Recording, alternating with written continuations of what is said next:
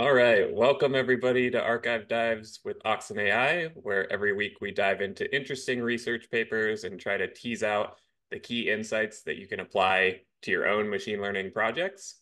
If you're new here, welcome. The team at Oxen AI is building collaboration tools for iterating on machine learning datasets. Think of Git plus GitHub for datasets of hundreds of thousands of images, audio, video, text, the type of data that AI systems take in today. And while we do love building these open source tools, we also love staying up to date with the latest research to make sure we're building the right tools for the job for cutting edge research. And we also believe that quality data is the starting point for any machine learning project. So the more people that can contribute to the data, the better. Today's research paper has some really interesting properties, and we'll dive into the data sets, but it's called self-rewarding language models and is from the teams at NYU and Meta. If anybody from those teams has joined the call, feel free to chime in at any point. Um, I saw there was some action when we posted it on Twitter, and we haven't had somebody join live from the team yet, but we're we're hoping you do. So if you're watching this asynchronously, we do this every Friday, and let us know. Um, these sessions are live and open to the community. So if you want to join and you're watching this on YouTube, uh, the link's in the description, or you can go to oxen.ai slash community. And with that being said, I'll be sharing this Notion page so we can all follow along. Um, chime in with questions at any point. Ben's going to be monitoring the chat. And let's dive in. So today's paper is called Self-Rewarding Language Models by the team at Meta and some researchers at NYU. If you joined us last week or last Friday, uh, we did the paper on DPO, and this this paper kind of builds on DPO, um, but acknowledges that a lot of current language models are bottlenecked by labeled data from humans. Not only the quantity of labels is a bot bottleneck, but the quality of labels. And so these language models have a large pre-training step that they go through. But then once you start doing supervised fine tuning or preference tuning, you do need a labeled data set. So the goal of this paper is to see if we can create a self-improving feedback loop uh, to achieve superhuman agents. And if we're able to get the language model to learn how to reward itself in an iterative fashion, we may be able to escape the bottleneck of labeled data from humans. So that's a pretty cool idea in theory, and let's see how it works in practice.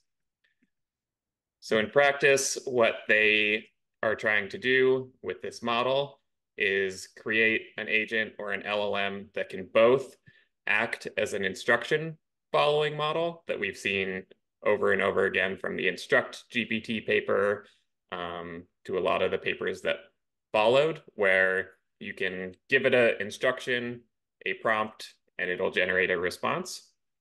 But they also want the same model to be able to generate and evaluate a new instruction and add these examples back to its own training set. Um, and if they're able to do that, they can create this self-improving loop and see if the model improves over time. Uh, when thinking about this, I had some quick thoughts on synthetic data that I'd like to keep in the back of your mind as we go through it. Um, I am usually skeptical about synthetic data, data generation. This is because using data um, from a pre-trained model will not give us any new information that the model does not already have encoded in its parameters. That being said, in general, we're starting to see synthetic, synthetic data be a successful technique in papers like this. So I've been thinking on why this is the case and listening to other podcasts and, and research papers. And I think the best argument that I've heard so far is that with these large pre-trained language models, it's no longer about adding data from a new distribu- distribution, since in theory, they've seen all the distributions on the internet. It's more about spiking the distribution in different directions um, so that you can have more control over the model and guide it on how to behave. So it's one thing to have a model that can, in theory, say anything, and it's another thing to have a model that says what you want it to say. So I feel like synthetic data data generation is really good for this second use case of trying to align the model or honing in specific skills. But I am a little skeptical about their superhuman level knowledge. And they even say in the paper that like this is a great preliminary step to show that a model can improve over time. Um, I've just been thinking about how is that possible with syn synthetic data generation? I think there's still a lot of questions to be had there, and I would love to kind of dive into that after we see the details of the paper in the in the chat afterwards. So with that being said, let's dive into what a self-rewarding language model is. Um, if you've been following the arxiv dives so far, I think the entire pipeline pretty intuitive to wrap your head around. Um, and they have a nice diagram of it in the paper. So at the start, what we do is we have a model that generates new prompts. We use these prompts um, and train a seed model that can generate responses given the prompts. Uh, this model is just a instruction tuned model that can take in like instruction prompt and generate a variety of responses. Then we run it through the same model again, but this model has two skills. It's to both generate responses given a prompt and also generate rewards or rank the responses um, given the prompt. So this is the same model here as it is here.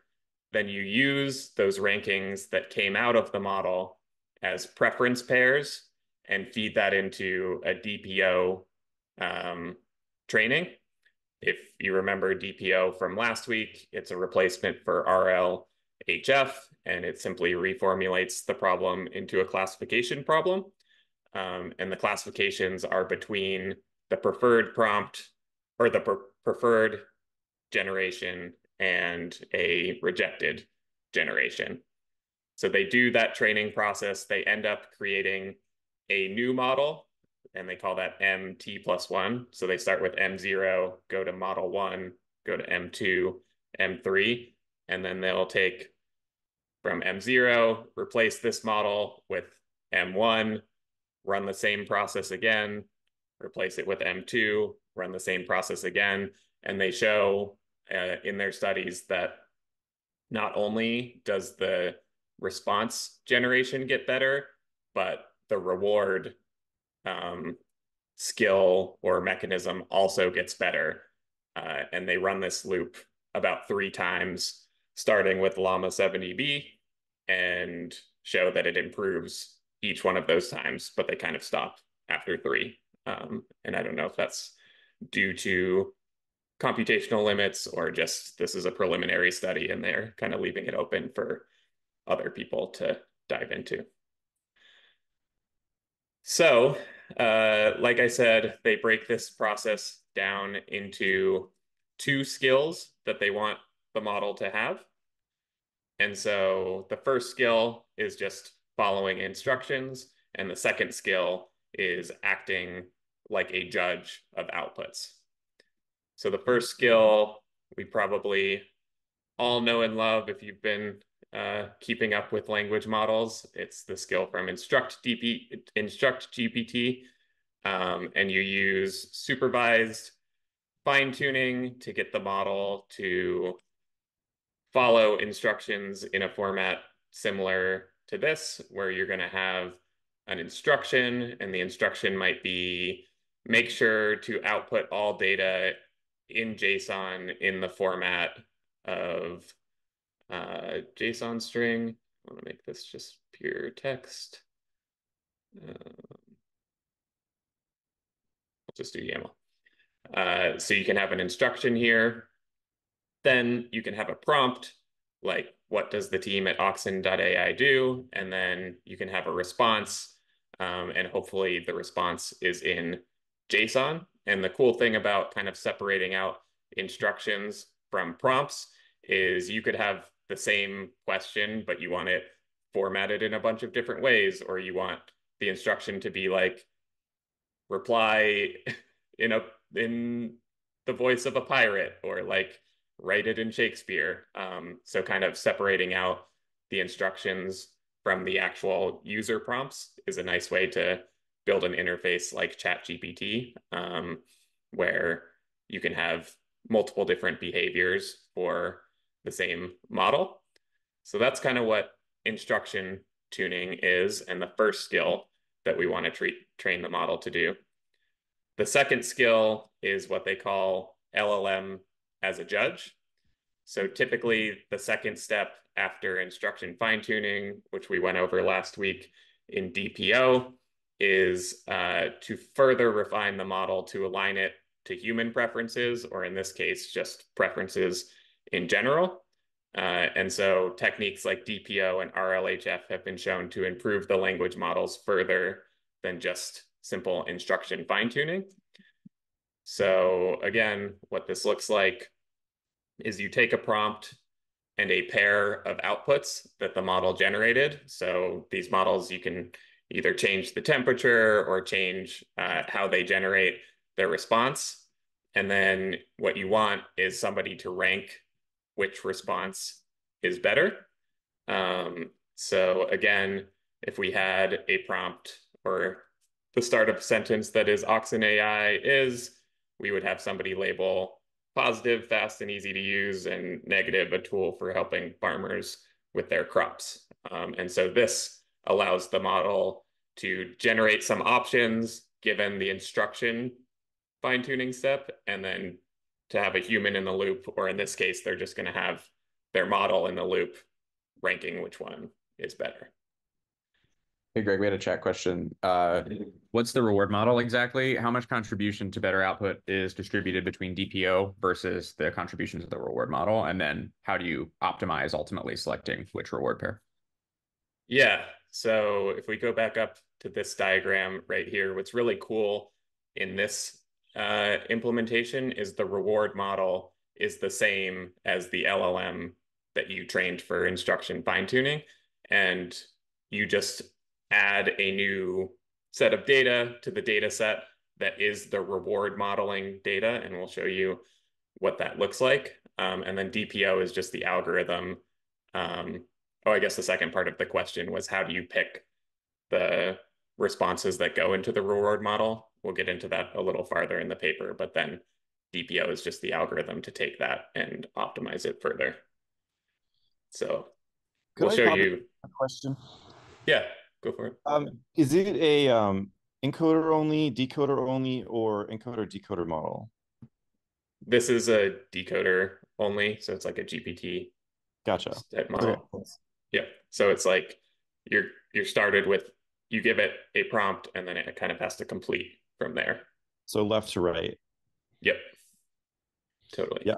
I was just thinking for the the second step, you might consider a bidirectional model, but but I mean left to right seems to be all the rage.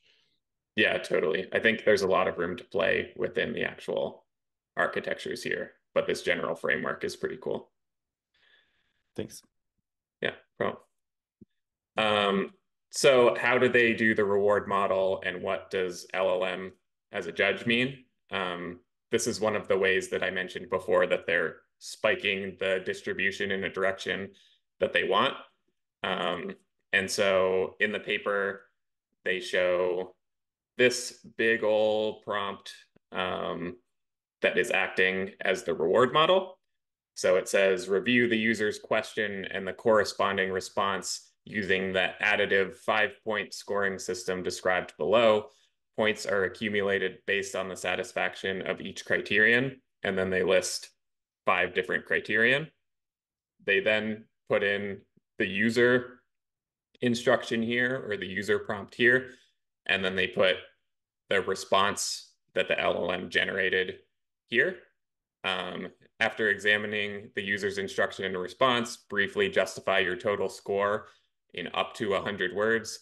Conclude with the score using the format score total points.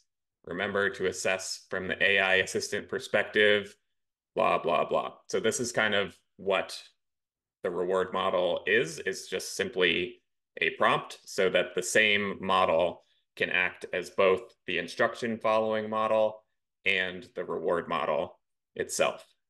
Um, and this is actually not the first time that a technique like this has been proposed. Uh, there's a paper called Judging uh, LLM as a Judge with MT Bench and Chatbot Arena. Um, and they say, and what they do in these papers is they actually have GPT-4 be the judge uh, rather than the model itself be the judge.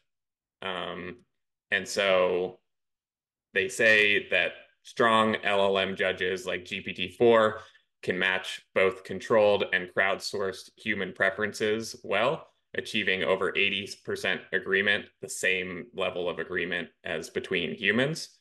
Um, and so the big difference in this paper is they're not using an external model to be the judge and create the DPO dataset, but they're using the model that they're training for instruction fine tuning uh, or instruction following to be the judge as well. So this means not only can it improve for instruction following, but it can improve uh, as being the judge as well, where where these other papers have like a static GPT-4 or Claude 2 kind of being the judge. So that's the main difference in this paper. Um, and I think a few interesting things to note here. Um, well, we'll we'll dive into those after we see the full pipeline. So how do they initialize this whole loop? So they start by giving a seed set of instructions that they use to supervise fine tune a lava or a llama 70b model this is a really small data set that they start with there's only 3200 examples from all in english that are high quality um, and they're actually originally grabbed from this data set called uh, open assistant and so we had one of our team members here reproduce some of the work that they did since they didn't open source the data sets themselves. Um, and just to give you a sense of what this initial instruction following data set would look like, um, you basically have a prompt like what is Aristotelian view of physics, impetus and stuff wrong? and then it has a response text um, elaborating on that. And they only start with 3,200 examples um, with a bunch of different prompts and responses, which is a pretty small data set to get started with. What was really cool about the Open Assistant data set is they gave a quality score to all of the um, prompts and responses. So in this paper, they took that quality score, sorted by the highest quality, and took 3,200 examples as the starting point. They call this data set the IFT data set, um, instruction fine-tune data set. So if you see in the paper IFT, it's just instruction fine-tune like prompt and response kind of data. Um, and then they create a second data set, which they call the EFT, evaluation fine-tuned data set.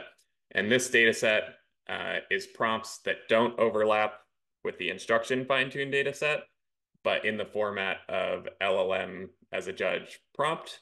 And they said they used uh, like 1700 training and 500 evaluation. And so what that data set, looks like, we also put it up in here, um, is you have multiple prompts with different responses. Um, so in this case, what are codes and conventions in the media? And it has this very high quality response.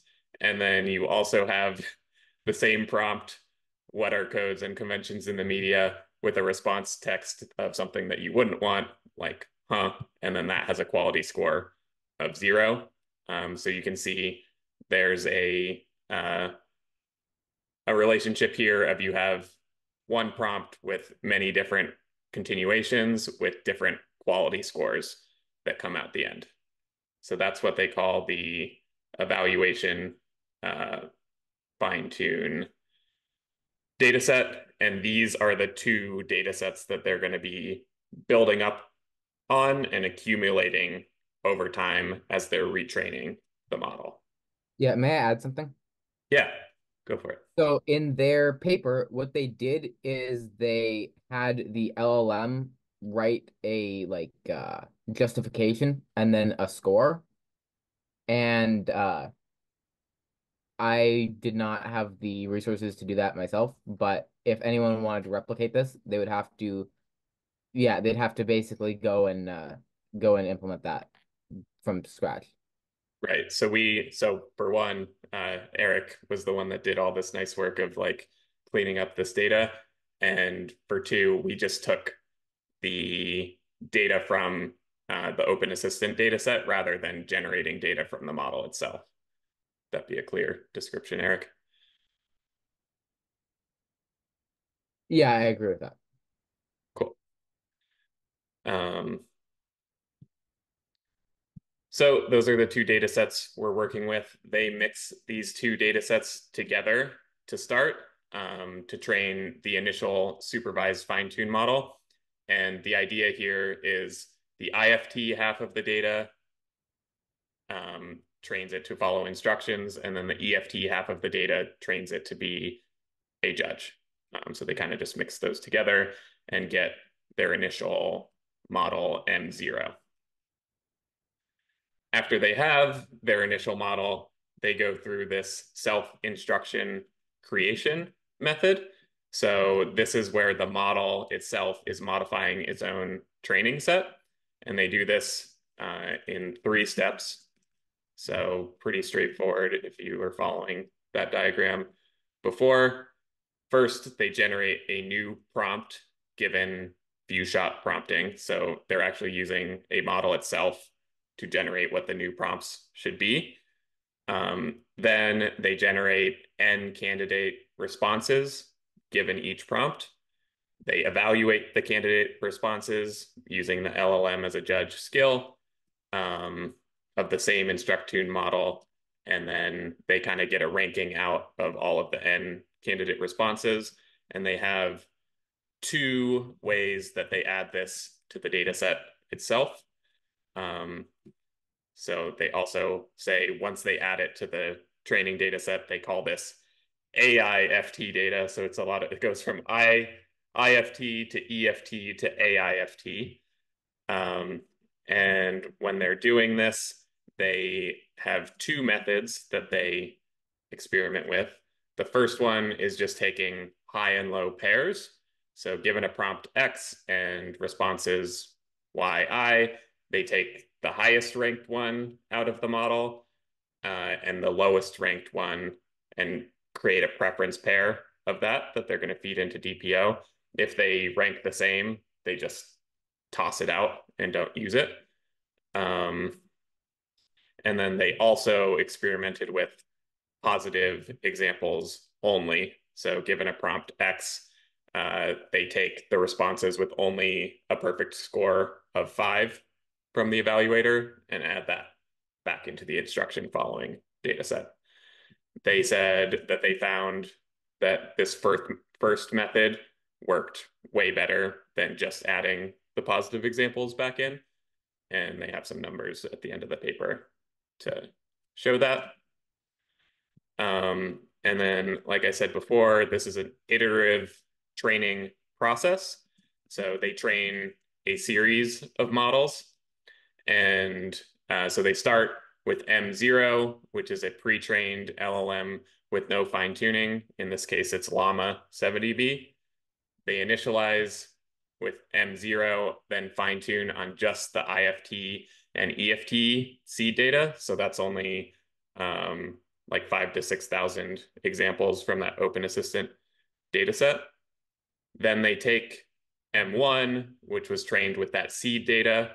Uh, they initialize M2 with it, and then they generate the AIFT data from M1, optimize M1 with DPO, and then do the same thing over and over again um, until they get M3. So I guess just over again once. Um, and they say that this procedure represents a similar flow to some previous work like pairwise cringe optimization and iterative DPO papers. However, the key difference is the reward model in this case is changing each time since it is just the same model that we're using to generate responses and rank responses, um, where other pipelines don't update that reward model. Can you talk a little bit about like cringe optimization and cringe loss? Because it, it sounds hilarious, but I'm sure it is much more serious and legitimate than that. you know, I didn't actually read the cringe optimization paper. I thought I'd okay. put it put it in here uh, just because it does have a great name. I feel like it.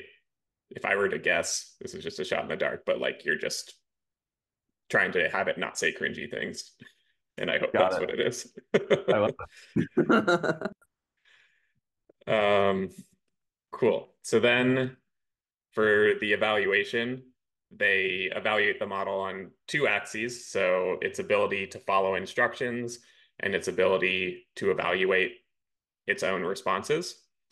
Um, and so for instruction following evaluation, they use GPT-4 to evaluate the performance of their various models. And then they use this Alpaca eval framework, um, which is open source and has a bunch of uh, eval tools. I'll link to it here if you want to learn more.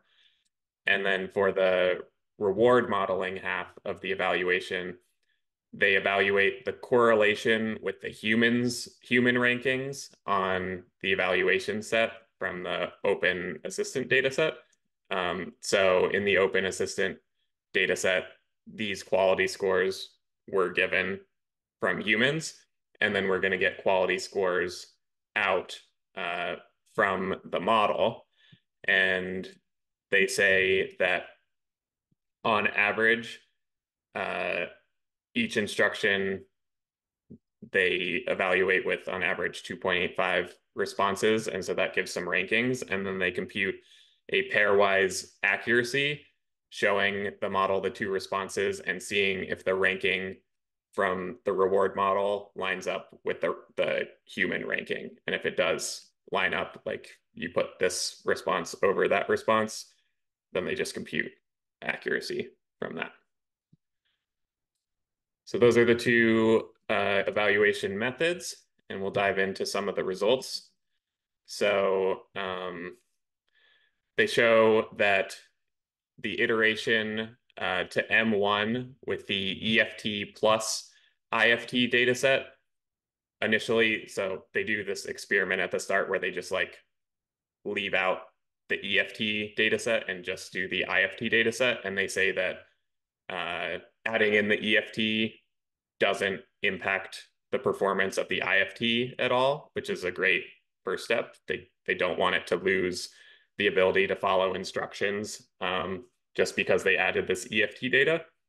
And so that's what this first bar is showing is um, the supervised fine-tuned base versus the M1 where they put EFT plus IFT data. They both win about the same amount of time.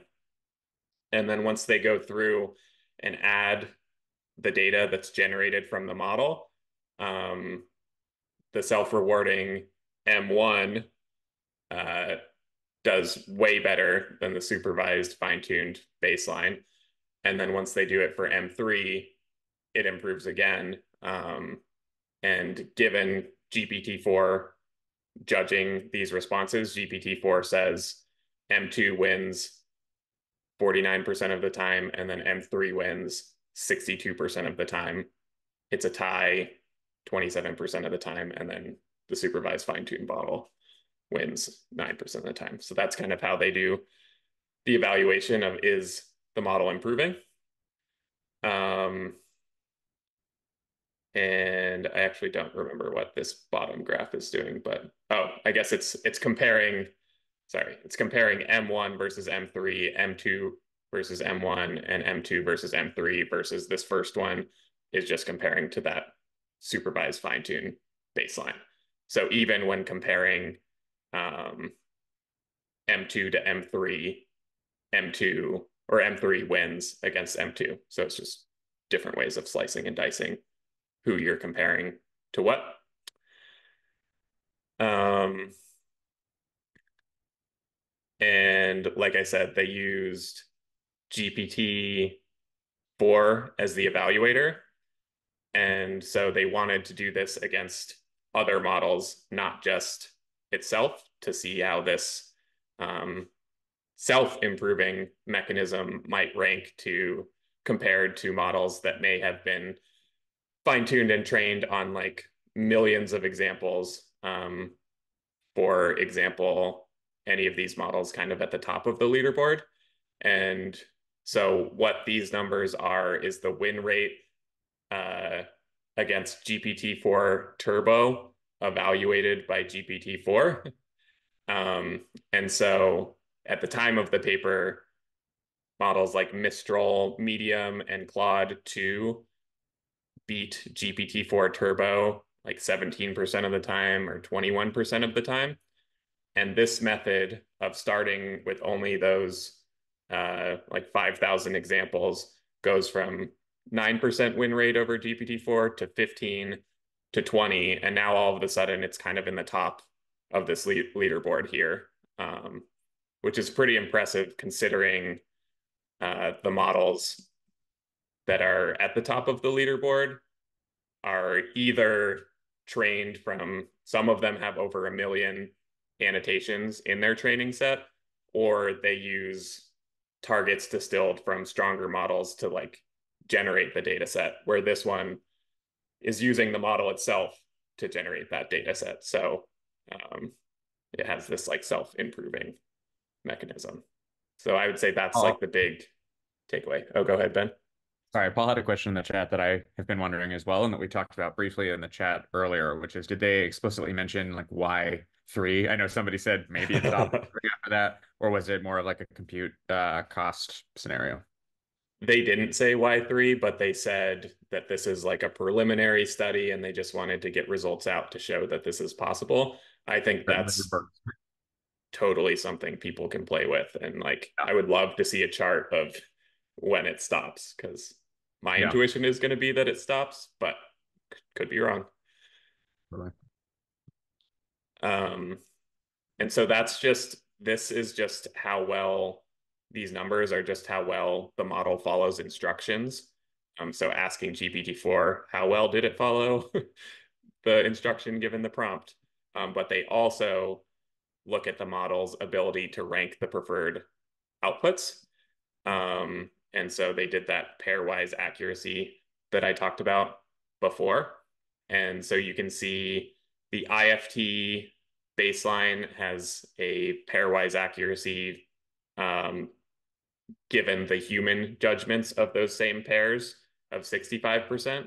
And then when they add in the IFT plus EFT data, that goes to 78%. Then when they do the uh, AI generated data and put that back in, it goes to 81%.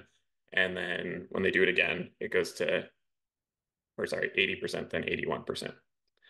Um, so it's interesting that the reward, the, the ability of the model to look back on itself and rank these is also improving over time as it's generating more data. Um, I think the biggest thing to note here, and it was kind of just like a one liner in the paper, is that the quality of the LLM as a judge prompt can have a huge impact on the overall pipeline. So they said that they started with uh, this prompt from a paper called Self Alignment with Instruction Back Translation. Um, and the prompt from this paper got 26% accuracy for this first step. And the prompt from their paper or from this paper got 61% accuracy. And they show the other prompt at the end of the paper and it is a big prompt and it has a bunch of things in there but like simply changing how you formulate what you want the model to look for in that prompt gives you a huge boost in in the starting point. And i almost feel like this is uh the most interesting part of the paper because if you think about it um i i wrote some notes on this in a different section here but um the few key things are they start uh with an initial model that can already generate reasonable responses so like they're starting with a llama 70b model that's already pretty good um, and the reward model must also be really good to kick off this process at all. Otherwise, you'd be like generating garbage, ranking garbage, and feeding garbage back into the model. Um, so I, I think the reason that this works really well now is we have these base models that work uh, good out of the gate. And I don't think this would have worked in the past if you just started with a, a model that from scratch or whatever. You kind of have to start with this model that has a reasonable amount of skills and then it can build upon those skills and you're really guiding it with this prompt right here um, or this uh, this prompt right here. So this is kind of if you're going to experiment, I feel like this is a really high bang for your buck place to do it.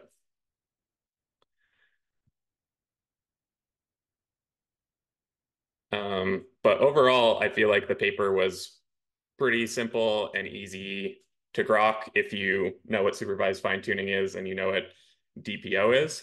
Um, and I think the coolest parts of it are the size of the data set needed um, and that it does, and that if you start with these good models, it does kick off a virtuous cycle is what I meant to write there um, but it is only a preliminary study.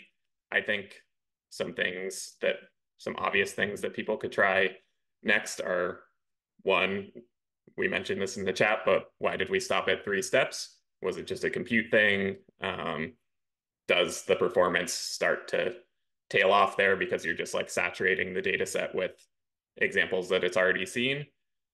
I would love to see if this method would work on smaller models. Um, so if you weren't here at the beginning, we have one of our community members, Raul, starting to kick off some experiments given the data that we put in Oxen to see if this would work with like Mistral 7B instruct as a starting point.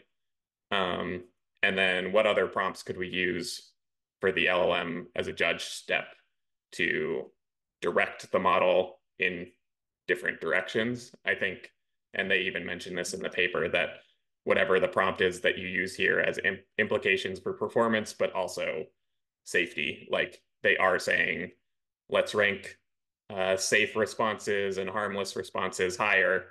Um, in theory, somebody could change that LLM as, as judge step to be ne more nefarious. um, so that could be another reason um, they stopped at three steps was safety concerns. Um, but yeah, overall, pretty straightforward paper. Um, we'll turn off the recording here if we have any other questions or discussion we want to go over uh, as a group. If you want to join, oh yeah, thanks Ben for tossing all this in here as well. If you want to join us for the live session and you're watching this on YouTube, there's the link in the description or just go to oxen.ai slash community. Uh, we love the portion afterwards where we kind of dive in and in more detail and and chat as a group. And hope to see you next week. We'll be diving into the Toolformer paper next, uh, which shows how you can teach LLMs to use tools to gain skills that um, like using a calculator or looking up the weather or stuff like that that you might not be able to encode into the model parameters itself. So looking forward to that. And with that said, I'll kill the recording uh, and we'll go offline. Thanks, guys.